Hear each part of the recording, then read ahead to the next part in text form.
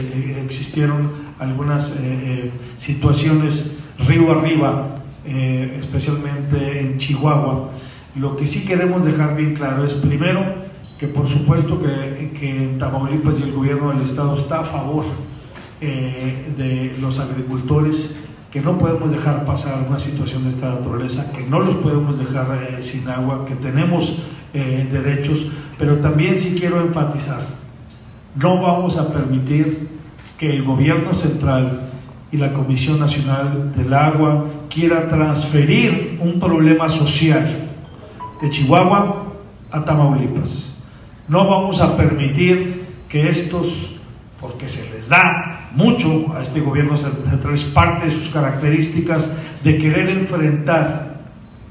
eh, a los estados de la frontera con un problema que le compete directamente y exclusivamente al gobierno de la República. Eh, y más adelante vamos a entrar a detalle. Lo que estamos pidiendo es que venga directamente la directora eh, de la Comisión Nacional del Agua, la doctora Blanca Elena Jiménez Cisneros, que venga acá a Tamaulipas, que se siente eh, con los titulares de los módulos